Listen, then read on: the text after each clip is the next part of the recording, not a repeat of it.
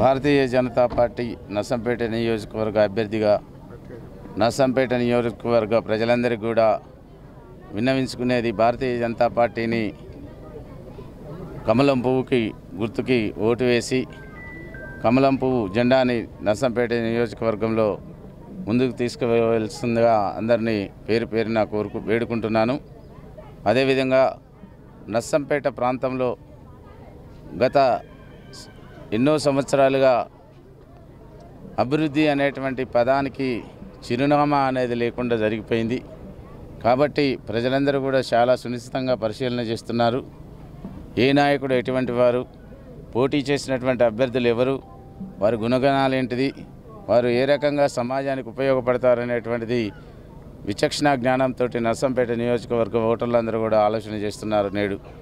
నాకు సంపూర్ణమైనటువంటి విశ్వాసం ఉంది. ప్రభుత్వం మీద విపరీతమైనటువంటి వ్యతిరేకత.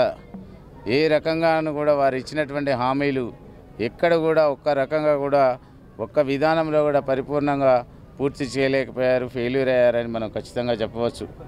టీఆర్ఎస్ ప్రభుత్వాన్ని మనం బీఆర్ఎస్ ప్రభుత్వాన్ని మనం పరిశీలన చేసినట్లయితే డబుల్ బెడ్రూమ్ ఇల్లు కానీ దళిత ముఖ్యమంత్రి కానీ తర్వాత వారి ఇంటికో ఉద్యోగం కానీ ఎన్ని రకాలుగా దాదాపుగా వంద అబద్ధాలతోటి ప్రజల్ని గత రెండు ఎన్నికల్లో మోసం చేయడం జరిగింది. కానీ తెలంగాణ ఉద్యమం తెలంగాణ ఆవిర్భావం తర్వాత ఎంతోమంది విద్యార్థులు మేధావులు అమరవీరుల అమరుల యొక్క త్యాగ ఫలితమే తెలంగాణ రాష్ట్రం ఆవిర్భావం. కానీ నేడు అదే ధనిక రాష్ట్రంగా ఉన్న తెలంగాణ అప్పుల రాష్ట్రంగా తయారైంది అంటే ఒక్క రేషన్ కార్డు కూడా పేద ప్రజలకి ప్రభుత్వం ఏర్పడిన కాడ నుండి అన్ని అప్లికేషన్లు తప్ప ఒక్క రేషన్ కార్డు కూడా జారీ అనేటువంటిది చేయలేదు. ప్రజల్ని ఆ రక ఏ రకంగా కూడా బాధ్యతగా చూసుకోవాల్సినటువంటి ప్రభుత్వం విస్మరించిందని ఈ సందర్భంగా మీకు విన్నవించుకుంటున్నాను. నిరుద్యోగుల విషయానికి వస్తే నిరుద్యోగ భృతి అనేటువంటిది ఎప్పుడో ప్రకటించిన కేసీఆర్ నేటి వరకు కూడా ఇప్పటి వరకు కూడా ఒక్క రూపాయి కూడా నిరుద్యోగ భృతి ఇవ్వకపోగా విద్యార్థులకి నోటిఫికేషన్లు ఇచ్చి వాటిని రద్దు చేసి ఎంతోమంది విద్యార్థులు ఉద్యోగాలకు తయారైనటువంటి విద్యార్థులు ఆత్మ బలిదానాలు చేసుకున్నటువంటి సంఘటనలు కూడా మన రాష్ట్రంలో జరిగినాయి.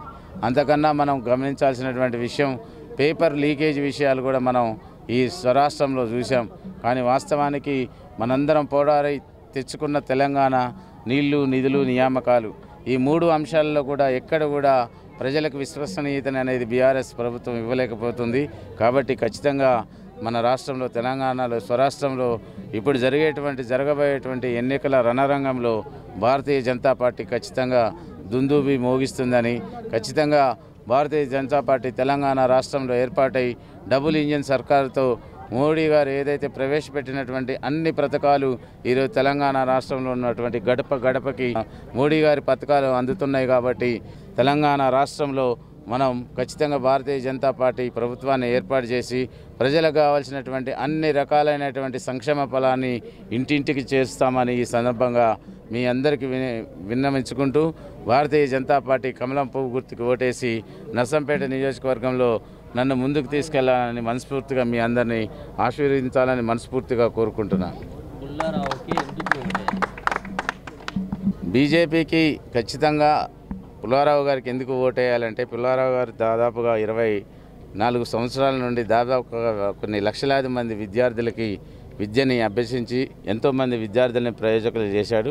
సమాజం పట్ల ఒక బాధ్యత పులారావుకున్నది ఎన్నో రకాలైనటువంటి సామాజిక సేవా కార్యక్రమాలు ప్రజలందరికీ సుపరిచితమే రక్తదాన శిబిరాలు కానీ మెడికల్ క్యాంపులు కానీ దాదాపుగా నేను ప్రతి సంవత్సరం కూడా విద్యార్థులకి ఆ రకమైనటువంటి అంటే సామాజిక స్పృహను కలిగిస్తూ ఒక నిర్దేశితమైనటువంటి సమాజాన్ని తయారు చేయాలనేటువంటి ఉద్దేశంతో అధ్యాపక వృత్తిలో ఉండి నేను ఇన్ని సంవత్సరాలు కొనసాగాను కాబట్టి సామాజిక బాధ్యత అనేది నాకు ఉన్నది కాబట్టి ఆ సామాజిక బాధ్యతను యువతరానికి కూడా నేను అందజేశానని మనస్ఫూర్తిగా తెలియజేసుకుంటున్నాను.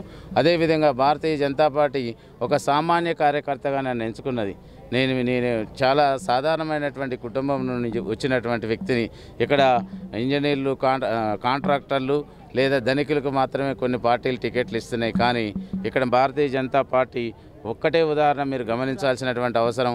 సాధారణంగా టీ అమ్ముకునేటువంటి మోడీ గారు ఈరోజు ఒక భారతదేశ ప్రధాని కాగలిగాడు. కాబట్టి ఒక సాధారణ కార్యకర్తని ప్రధానమంత్రి చేయగలిగినటువంటి ఏకైక పార్టీ భారతీయ జనతా పార్టీ అని మీకు సవినయంగా వినవించుకుంటున్నాను ఒక సమర్థత ఉన్నటువంటి సామాన్య కార్యకర్తని ప్రధాని చేసింది. ప్రధాని చేసిన తర్వాత భారతదేశంని ప్రపంచం వైపు సరిచూసే విధంగా ప్రయత్నం జరుగుతుంది కాబట్టి ఈ అంశాల్లో ప్రజలు ఖచ్చితంగా భారతీయ